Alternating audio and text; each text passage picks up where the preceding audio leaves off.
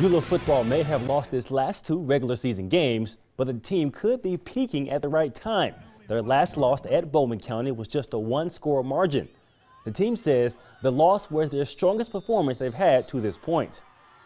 That makes us feel really powerful, and that gives us a little extra courage, and, and we need that as a team. The Miners have drawn Region 3 champion Bishop Ryan in the first round this Saturday.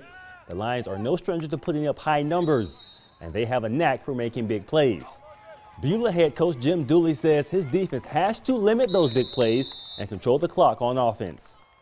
I don't want it to get to a point where, um, you know, we have a long drive and then they, uh, you know, have a two-play drive for a score. So, um, you know, I, I, think a lot of things is just being sound what we're doing defensively and just making the plays we're capable of making. Kickoff at Herb Parker Stadium is set for 7 p.m.